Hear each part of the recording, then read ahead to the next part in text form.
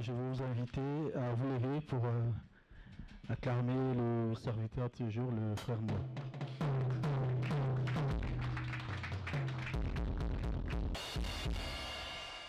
Amen.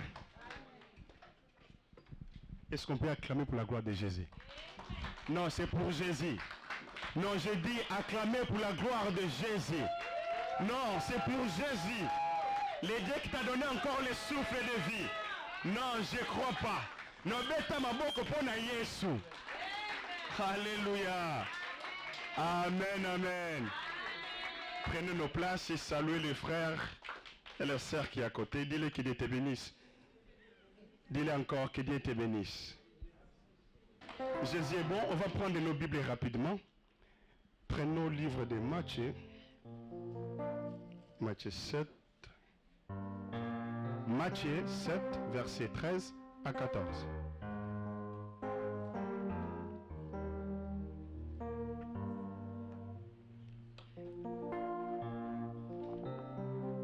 Je langue de Jésus. Amen. Entrez par la porte étroite. En effet, large est la porte, spacieux le chemin menant à la perdition. Il y en a beaucoup qui entrent par là. Mais étroite est la porte, resserré le chemin menant à la vie. Il y en a peu qui le trouvent. Amen. La parole du Seigneur. Amen. Cependant, Saül, respirant toujours que menace et carnage à l'égard des disciples du Seigneur, alla trouver le grand prêtre et lui demanda de l'aide pour les synagogues de Damas, afin que s'il y trouvait quelques ad- adeptes de la foi, hommes ou femmes, il les amena enchaînés à Jérusalem. Amen. Acclamons pour la gloire de Jésus. L'éternel est bon, l'éternel est merveilleux. Il nous accordait encore une journée, nous accordait encore la grâce d'être ensemble avec nos frères et sœurs. Et c'est vraiment une motif d'être de la joie car la Bible nous dit tout ce qui respire, loue l'éternel. S'il y a une condition pour louer ou bien pour adorer l'éternel, c'est juste avoir la vie. Parce que la nous dit, tout ce qui respire, loue l'éternel. Amen. On va partager un thème, on va parler sur la vie chrétienne. Alléluia. C'est euh, aujourd'hui ou bien c'est moi-ci qui va nous suivre. Je crois que ça sera un grand thème qu'on va partager. Je sais que le but euh, de ce thème, ou bien de, de ce qu'on va dire, c'est de nous faire comprendre la vie chrétienne. C'est de nous faire entrer, ou bien de nous rappeler encore c'est quoi la vie chrétienne? Et dans le livre de Matthieu, ce qu'on vient de lire, là c'était Jésus qui disait à ses disciples, il a dit entrez de la porte étroite, car la porte qui est large, il y a une large chemin. Il y a beaucoup de gens qui entrent par là. Mais sauf que le grand problème c'est quoi? C'est demain, ou bien c'est le but. C'est où mène ce chemin?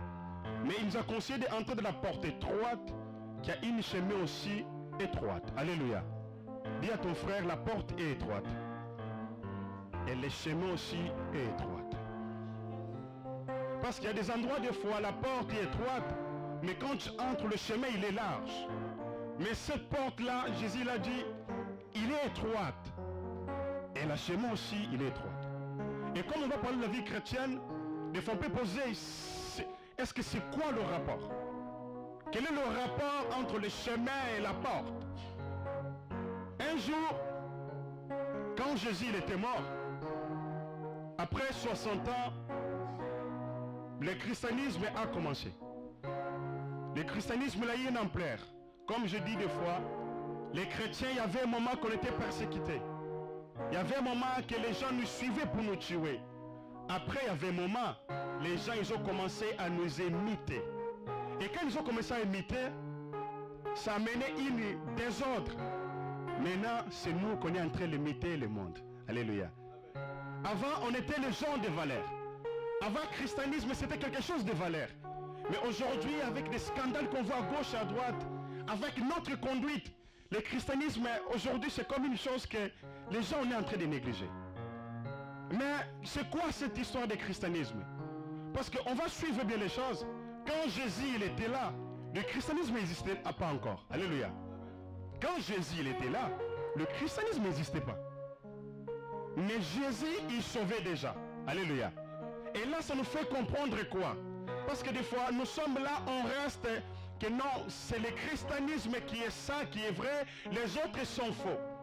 Oh non, il y a des gens qui disent non, c'est le christianisme, c'est ça qui est la seule religion, la vraie religion. Ce qu'on appelle les religions existait déjà avant l'arrivée de Jésus-Christ. Nous tous on connaît, il y a des sadducéens, il y avait des pharisiens aussi, il y avait aussi des zélotes. Alléluia. Et c'est pour cela, moi, j'ai dit, quand Jésus est venu, son but, le grand but de Jésus, ce n'était pas la religion. Parce que si on regarde entre le christianisme et les pharisiens, les pharisiens ils sont beaucoup plus droits que nous les chrétiens.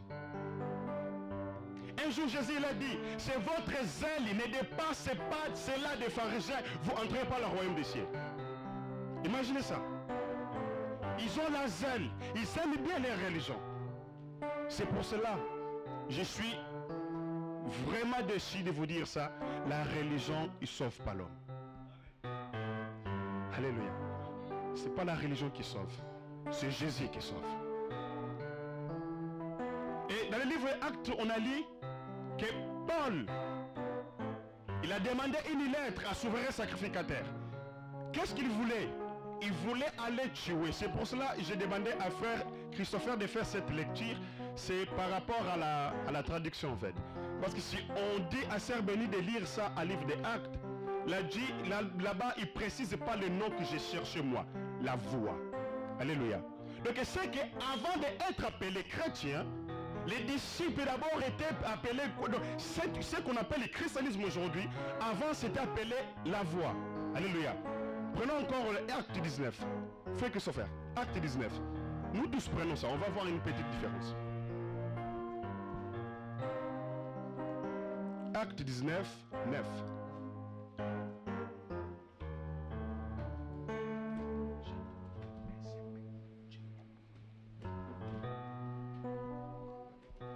Amen. Certains, cependant endurcis et incrédules, décriaient la voix devant l'assistance. Il remplit avec eux et prit à part les disciples. Amen.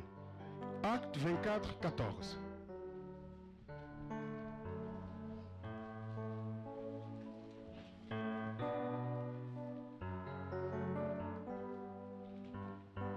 Je lis la parole du Seigneur. Amen. Un peu doucement. Je t'avoue, pourtant ceci, c'est suivant la voie qualifiée par eux de parti que je sers le Dieu de mes pères, gardant ma foi à tout ce qu'il y a dans la loi et à ce qui est écrit dans les prophètes.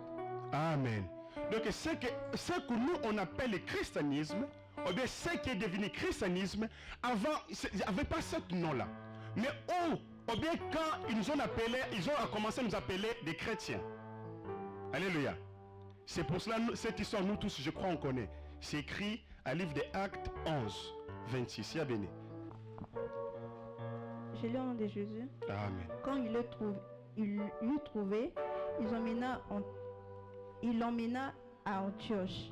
Mhm. Pendant toute une année, ils partirent aux réunions de l'église et ils enseignèrent beaucoup de personnes. C'est à Antioche que, pour la première fois, les disciples furent appelés chrétiens. Amen.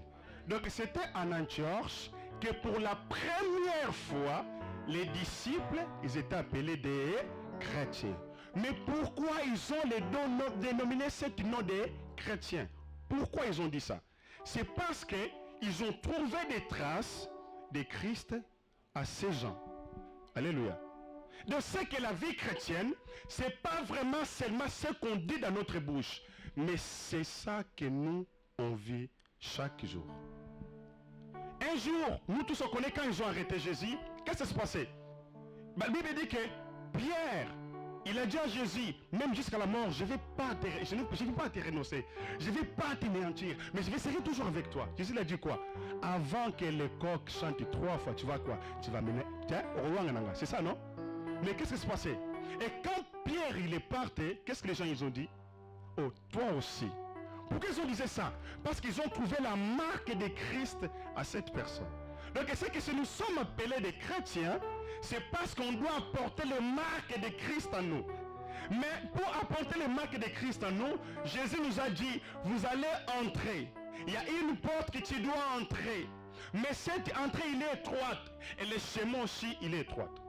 Donc c'est que pour devenir chrétien, il y a de certaines conditions. Quelles sont les conditions? C'est d'entrer d'abord et rester dans le chemin. Parce que quelque part, Paul il a dit, il y a des gens qui, sont, qui ont fait une naufrage de la foi. La porte est étroite. Donc c'est que la première chose, on va retourner d'abord à Jean-Baptiste. Qu'est-ce que Jean-Baptiste faisait? Jean-Baptiste est parti dans le désert.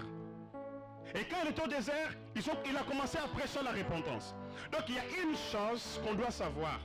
Pour retourner à Dieu, il y a une moyen qu'on doit retourner à Dieu. Il y a une chemin qui peut nous amener à Dieu. Mais ce chemin, ça commence d'abord de la repentance. Alléluia. La repentance. Ils ont demandé à, Jean-Baptiste, mais est-ce que toi tu es Christ? Il a dit non, je ne suis pas Christ. Mais je suis en train de préparer seulement le chemin. Quelque part, je suis en train de préparer quoi? La voie. Donc c'est que pour entrer dans la voie, la première chose, la repentance. Alléluia. Et quand on se répand, c'est par là où on prend le baptême. Et quand on prend le baptême, c'est là où on passe à la table du Seigneur. Alléluia. C'est des étapes qu'un chrétien doit savoir. C'est des choses qu'un chrétien doit savoir. La première chose que je dois faire, c'est entrer d'abord. Qu'est-ce que Jésus a dit? Je suis la porte. Alléluia. Aujourd'hui, on va lire un peu trop. Alléluia. Aujourd'hui, on va faire vraiment la lecture. Prenons le livre de Jean. Jean 19. J'ai nom de Jésus. Amen. C'est moi qui suis la porte. Si quelqu'un entre par moi, il sera sauvé. Il entrera et sortira, il trouvera de quoi se nourrir. Amen. Donc là, on comprend. Donc c'est que cette porte qu'on doit entrer, c'est la personne de Jésus. Et ma question, c'est ça. Et le chemin où on doit marcher, c'est qui? Alléluia. C'est encore Jésus. On comprend? Donc c'est que quand on se convertit, et c'est là où on commence à appartenir encore à Dieu. C'est là où on commence encore à appartenir à Jésus. Je sais que si on se souvient bien, on a déjà dit que nous sommes des, nous sommes des enfants adoptifs. Alléluia. Pourquoi? Le péché nous a égarés. Le péché nous a éloignés. Mais quand on s'est converti, on retourne encore à être des enfants de Dieu. Je sais qu'on a parlé ça avec mon frère euh, Flodem. Des fois, quand on parle de l'adoption, on ne comprend pas ça. Qu'est-ce qu'on pense quand on dit l'adoption? On pense que c'est comme on fait dans. Tu vas là-bas, tu prends un enfant, tu l'adoptes, il devient ton enfant. Mais pour un juif, quand il explique le mot adoption, la première chose qui vient dans sa tête, c'est des choses que Jacob a fait à les enfants de Joseph. Alléluia. Je vais expliquer ça. Quand Joseph, il est parti en Égypte, après longtemps, après, si je ne me trompe pas, 13 ans, il a vu son fils Joseph. Et Joseph avait deux enfants. Et qu'est-ce qu'il a dit? Il a dit, c'est qui ces petits-là? Il a dit, c'est mes enfants. Il a dit, envoie-les-moi. Qu'est-ce que Jacob il a fait? Jacob, il s'assit par terre, il a pris les deux enfants, écoutez, il ouvre ses pieds, il a mis les deux enfants, et qu'est-ce qu'il a fait? Il a dit, à partir d'aujourd'hui, ils sont plus tes enfants, ils sont devenus mes enfants. Donc c'est que, quelque part, Jacob, il est en train d'expliquer, ces enfants, ils ont les mêmes droits que mes enfants. Alléluia. Ils ont dit que ces deux enfants, ils commencent à voir les mêmes droits que mes enfants. Jacob, il a fait combien d'enfants 12. Alléluia. Il a fait 12 enfants. On avait combien de tribus à Israël On a combien de tribus Israël? 12 tribus. Et vous savez, dans 12 tribus, il y a un certain qui s'appelle Manassé et il y a l'autre qui s'appelle qui? Ephraim. Alléluia. Donc c'est que quand il est en train de déclarer ça, donc ils ont pris la possession. Donc c'est que quand Jésus nous adopte comme ses enfants, on commence à avoir les mêmes droits que lui. Alléluia. Est-ce que l'Église me comprend? On commence à prendre les mêmes droits que lui. C'est pour cela qu'il a dit quoi? Vous ferez des œuvres plus. Donc c'est que ce qu'on m'a mots là yo, l'homme au nom de Jésus. Alléluia. Parce que tu as pris les mêmes autorités, tu as le même pouvoir. C'est pour qu'il dit, je vous donne l'autorité, je vous donne le pouvoir. Alléluia. Est-ce qu'on peut acclamer pour Jésus? Oh, n'a pas droit Donc c'est que c'est lui la porte et c'est lui le chemin. Donc ce qu'il faut faire attention, c'est quoi? Quand on entre, c'est pour rester. Jésus nous appelle pas pour nous jeter des mains, mais il nous appelle pour continuer à suivre les chemins. Mais le chemin, il n'est pas facile. C'est pour cela qu'on comprend c'est quoi? On entre, on prend le baptême, après c'est là où on passe dans la table. La table, nous tous on sait. C'est la Sainte Seine. Alléluia. Est-ce que vous savez que nous aussi on croit à la Sainte Seine? Alléluia. Vous savez ça? On croit à la Sainte Seine dans cette église. On croit à la baptême du Saint-Esprit aussi. Alléluia. Alléluia. On croit à la baptême du Saint-Esprit. Donc c'est qu'on prend le baptême, on passe à la table. Mais toutes ces choses-là, quand elles se passent, il y a une chose que j'aime bien.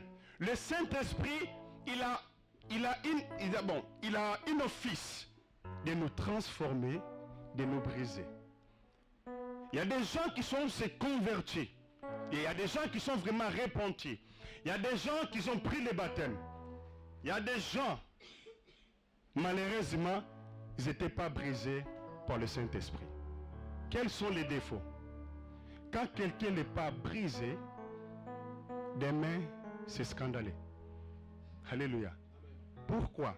Si on analyse bien l'église, il y a des ex ninioyo, il y a des ex nanioyo, il y a des ex ninioyo. Je vais expliquer. Il y a des ex voleurs. Alléluia. Il y a des ex escrocs. Alléluia. Il y a un ex sorcier. Il y a des ex magiciens. Et le problème c'est quoi? Nous tous on doit rester ensemble. Alléluia. Quand il s'appelle mon frère Robert Imagine-toi.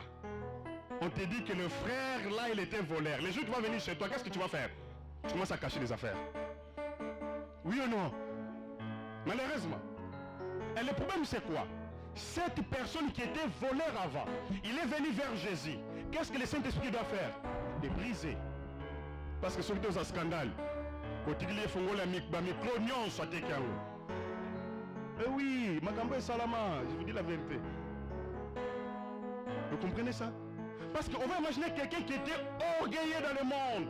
Il vient vers Jésus à compter nos orgueil est botika bandoko te ça sera scandaleux. Botika il va penser que c'est toujours lui qui boyemba te pourquoi? L'orgueil il est encore là c'est pour ça que Saint-Esprit doit faire quoi? Il doit te briser. C'est pour ça que des fois je demande aux gens, avant de demander Nzambe pesanga boye, dis à Dieu, brise-moi. Alléluia. Parce que sinon, on va voir des conflits entre nous. C'est ça que je dis, ex-nanyo, ex-magicien. Bébé, son frère Wana Zalaka, magicien. Yécoute, nenga zana zaka nganga.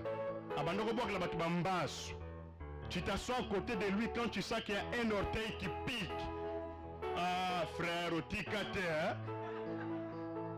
Je me souviens quand on était en Angola. Heureusement, frère Babi n'est pas là. On, avait un frère qui était judoka. Bon, il était vraiment avancé hein, dans le judo. On avait un frère encore d'église. Lui vraiment parlait beaucoup. Et qu'est-ce qui s'est passé? Il a parlé mal de ses frères-là. Ils étaient pas tellement vraiment le donc on dirait ici à Super I. Il a parlé mal de ses frères-là. Et nous, on a pensé que le frère, comme il était baptisé, il était brisé. Et pourtant, le frère, il n'était pas hein, brisé. Et qu'est-ce qui s'est passé? Et on était là ensemble avec Pasteur nous donner des conseils. Il y avait un frère qui est venu à courir. Ah, pasteur, c'est quoi? Oh, écoute, frère Boye Boye. Ah, Alembi Koutoumabele. Oh Alléluia. On est parti voir le frère qui parlait trop, il est devenu droit. Alléluia. Donc c'est que frère, il n'était pas encore brisé. Pourquoi? La Bible nous dit quoi? Ceux qui sont forts, ils doivent supporter ceux qui sont encore faibles. C'est ça la vie chrétienne. Quand je te vois, tu n'arrives pas à faire une chose, que ce ne soit pas le sujet de manquer, mais que ce soit une chose, frère, je peux t'aider. On va avancer à ça. Parce que nous sommes là pour ça. La Bible nous dit quoi? Quand on dit l'église, c'est le corps de Christ. Nous n'avons pas la même fonction. Et si quand lokolo esalaka loboko soki asali yango osimba te. Osimba te. Alléluia. Ça va pas aller. Imagine imagine toi. Esika makolo etambolaka maboko ebanda kotambola. Esimba te. Et il y a des gens qui ont la grâce. Ils voient des choses moi je fais toi tu vois. Qu'est-ce qu'on doit faire? Toi tu vois. Moi je fais alléluia. Toi tu vois. Moi je fais il y a des gens qui voient mais ils parlent pas. Toi tu vois. Moi je parle. Est-ce que vous savez qu'il y a des gens des fois pour passer ici te coacher alléluia. Comme passer un jour l'a dit frère mais coacher les alléluia. C'est comme ça. Il y a des gens qui ont déjà cette intelligence. Mais il y a des gens malheureusement qui sont en train de venir. Et qu'est-ce qu'on doit faire? Ceux qui ont déjà l'intelligence, qui enseignent ce qu'ils sont en train de venir. Parce que tout dans la vie, on l'apprend. Alléluia. Alléluia. On va imaginer. C'est pour cela, quelque part, Paul, il a dit quoi? Les mères ou bien les femmes veuves qui sont déjà âgées, Alléluia. J'aime un petit peu. Il a dit, les femmes qui sont âgées, qu'ils enseignent comment rester dans les mariages aux jeunes filles qui arrivent. Alléluia. Donc c'est que maman, quelque part, c'est ça aussi votre boulot. Vous comprenez? C'est pas parce que tu passes pas ici, là-bas tu peux pas le faire. Même là-bas tu peux le faire. Donc tu as l'intelligence, tu sais comment une femme peut rester avec son mari. Papa Michel, Papa Michel, il sait comment un homme il doit rester avec une femme à la maison. Qu'est-ce que nous on doit faire? Non, terre, non? C'est pas parce que tu prêches, Alléluia. Alléluia. C'est pas parce que tu as l'onction, tu as tout. Non. Vous savez, Paul, comme le pasteur nous a dit l'autre jour, il nous a prêché dimanche. Paul, il avait l'onction. La Bible nous affirme, nous confirme. Il y a des gens qui venaient avec des mouchoirs, ils touchent dans le corps de Paul, ils touchent les maladies, maladie, il était guéri. Mais vous savez quoi? Lui-même, il avait des problèmes. En plus, la Bible dit, j'ai prié trois fois. Dieu l'a dit, ma grâce, ça te suffit. Alléluia. Vous savez Moïse, Moïse, il a intercédé pour Israël. A dit Dieu, nani kukuma na ye. Il avait la patience. Alléluia. Alléluia. Imagine-toi devant Dieu, Dieu. Regarde ces peuples-là. Qu'est-ce que les gens vont dire? Tu as pris en Égypte pour les tuer ici. Bible nous affirme que Nzamba yo qui y a Moïse. Moïse il a dit parle au Pierre, le Pierre va te donner de l'eau pour boire. Moïse, il était fâché, il a pris le bateau, pas il a tapé. Dieu l'a dit, Vous savez qu'est-ce que Moïse l'a fait? Dieu l'a dit, viens Moïse. Il a dit, regarde là-bas, c'est le Cana, la terre promise. Moïse, il était content. Il dit, ah Dieu, j'imagine comme un homme. Moïse commence à faire des plans. Ah, on a parlé dans les Alakuna. Ah, on a parlé dans. Dieu l'a dit, Moïse, tu entreras pas. Alléluia. Dieu l'a dit, tu entreras pas. Et vous savez qu'est-ce que Moïse a fait? Il a dit, je connais l'histoire. Notre Dieu, quand tu te répands devant lui, Moïse, il a commencé à prier. Vous savez qu'est-ce que Dieu l'a dit? Moïse, arrête. Moïse, arrête de parler. Tu entreras pas. Alléluia. Il est comme ça. Juste pour dire que c'est pas parce que tu as l'onction, tu sais tout. C'est pas parce que tu as l'onction, tu peux tout. Non. C'est pour cela que Dieu l'a mis maman devant moi. Hein, maman? C'est pour cela que Dieu l'a mis sœur bénie aux côtés de moi. C'est pour cela que Dieu l'a mis pasteur devant moi. Le chemin, il est étroit. Il y a de certaines choses dans la vie chrétienne, c'est pas facile. J'aime bien dire ça. La vie chrétienne est plus sauvage que la vie militaire. La vie militaire, c'est quoi? Quand tu vas à la guerre, tu as des choses. Ou bien tu tires, ou bien vont te tirer. Qu'est-ce que toi tu dois faire? Qu'est-ce que tu fais toi? Obomi. Qu'est-ce que tu vas faire? Sur aucune guerre Qu'est-ce que tu vas faire? T'as que ça Tuer ou bien être tué. Mais la vie chrétienne, non. Écoute ce que Jésus l'a dit. bénissez quand vous êtes maudit. moto abandi kolobela mabe que dieu te bénisse ma sœur ah longwa kuna que dieu te bénisse ma sœur hein? alléluia le chemin il est étroite Jésus l'a dit quoi? Si quelqu'un te demande pour marcher avec lui un kilomètre, va avec lui deux kilomètres. Jésus. Jésus. Il a dit quand quelqu'un te demande une veste, donne aussi la tunique. Jésus. Vous comprenez ça? De supporter quelqu'un comme moi. Alléluia. Alléluia. Un jour, j'ai reçu un ami à la maison. Un ami qu'on a grandi ensemble.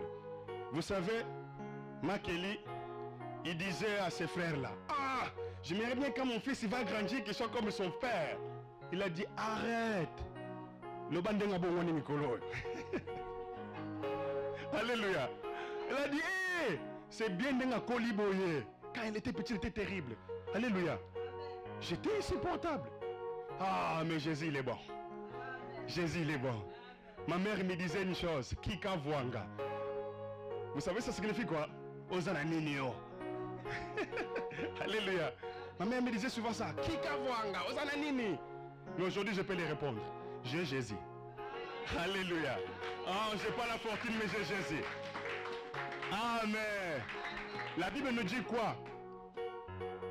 Notre vie est cachée en Christ.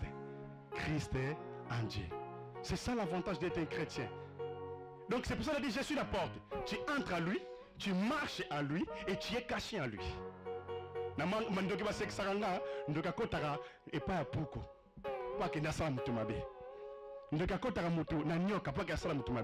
Mais notre vie est cachée en christ peu importe les déluges peu importe les problèmes. Donc c'est que la vie chrétienne ça finit pas seulement écouter. Écoute ce que Jésus a dit. Ceux qui écoutent ma parole ils mettent en pratique ils sont comme un homme qui a bâti une maison dans un rocher. Donc c'est que la vie chrétienne, c'est mettre en pratique la parole de Dieu. Ce qu'on écoute ici à l'église, c'est pour les mettre en pratique à la maison, au travail, à l'école. Alléluia. Je vais vous poser une question. Est-ce que si on vient vraiment chez vous, Alléluia, on vient vraiment chez vous, on demande, euh, on va donner un exemple. Maman Lydie, est-ce que frère Christian ndenge nini Hey, frère obengi ye frère alléluia ah oui mama aza frère mais hey, kuna na église awa te alléluia vous comprenez ça? À l'église il est quoi? Et à la maison. Noko yanke yanke vous comprenez ça? Et ma question c'est ça. Maman na na église nini et vous savez quoi? C'est ça qui fait mal. Quand quelqu'un il fait des bêtises à la maison, vous savez qu'est-ce que les gens disent? Il va bilo bien taire. Alléluia. Et pourtant, révérend, il est toujours aussi en train de crier. Papa Batoua, gêné, gêné. Alléluia. C'est pour ça que je répète. Aller à l'enfer, naître dans le péché, c'est pas ta faute. Mais rester dans le péché, aller dans l'enfer, c'est ta faute. Alléluia. Naître dans le péché, c'est pas ta faute. C'est pas ta faute. Mais grandir et aller à l'enfer, là vraiment c'est ton choix. Tu as fait vraiment ce choix-là. Parce que je sais qu'on a parlé de choix ici. Livre arbitre, ça existe. Dieu t'oblige parfois à t'habiller comme ça. T'as ça ou ça. La porte est étroite.